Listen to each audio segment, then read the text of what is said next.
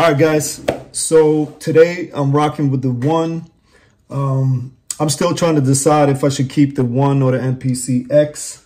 Um, I haven't used the one in a while, so I figured I'll uh, I'll mess around with it. Uh, I have a couple of minutes right now before I gotta have a late lunch and uh, get back to work. But um, yeah, I really love this thing. Um, that's why I still have both of them, even though I was I was gonna sell one of them about a year ago. But now with the MPC3 coming out, uh, I think I'm going to keep them for a while and try out both with MPC3 and see which one I like. Because to me, it's pretty important that, you know, on, on these older MPCs, obviously they're going to come up with new ones, but that, that are more built for the new operating system. But I want to keep the one that feels like it, like it works the best with the new software. Um, but yeah, really liking the one, man. Like I love that it has a TC button here. Um, I don't like that you got to reach for the volume knob up here. It would be nice if they could have fitted in over here somewhere. Maybe wouldn't have looked as nice, but it definitely would have been really nice to be able to just reach for it here. They could have moved the Q link down a little bit or up and then made space for it. Um, another thing, obviously, that is a downside on the one is that uh, as far as I can remember, it only has one regular USB-C port and then one, I forgot what it's called, the square one that you usually can hook to um, audio interfaces or, you know, MIDI keyboards and stuff like that.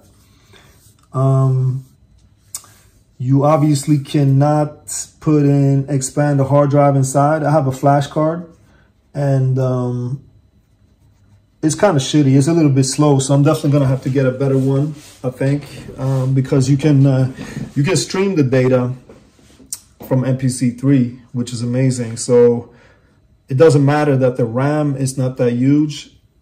I think it's only two gigs or something like that in the MPC1. Uh, in the old MPC X2 for that matter, but the new one, the MPC X SE, and I think the Key 61. I think they're all they all have they both have four gigabytes of RAM.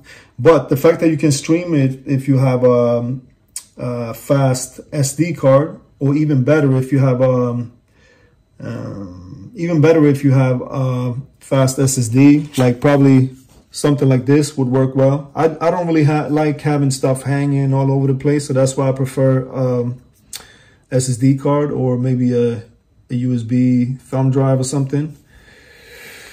But yeah, hard decision. Let me know in the comments which one I should keep.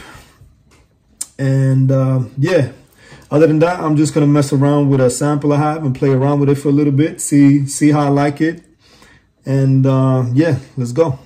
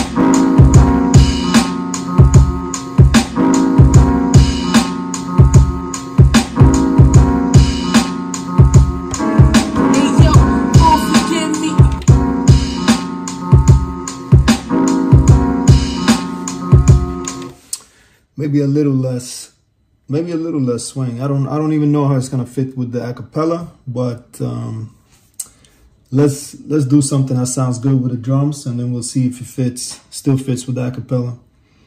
Um, so one thing that I like with the MPC one that the X doesn't have is the TC button right here. I think on the X you gotta go on the you gotta go on the touchscreen. I definitely prefer this. So that's a plus for the one. Anyway, let's go down a little bit. Let's try 58 on that kick. Select it, do it.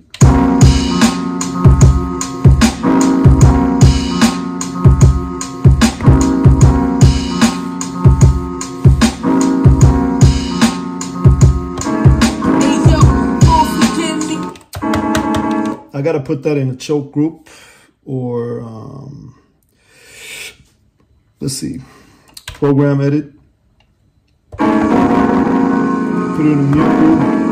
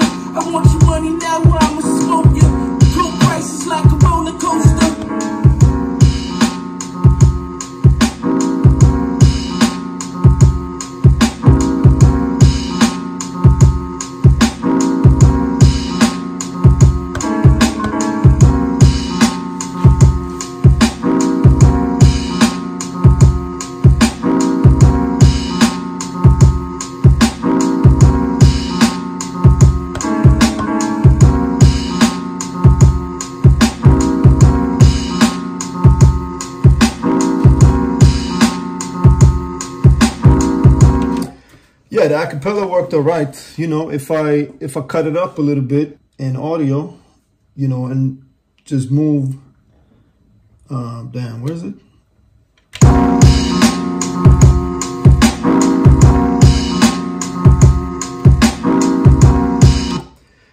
This is definitely going to be easier in MPC 3. Looking forward to that. I haven't done this in a while, um, but it's, it's pretty easy here too. But yeah, so I got the acapella there.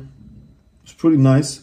But uh, yeah, if I take it off grid mode and just um, cut a little bit and just moves a few phrases here and there, I think this acapella could work pretty nicely with this beat. And uh, I have some other chops that would be nice to add to it also, like some saxophone or trumpet or whatever it is, horn.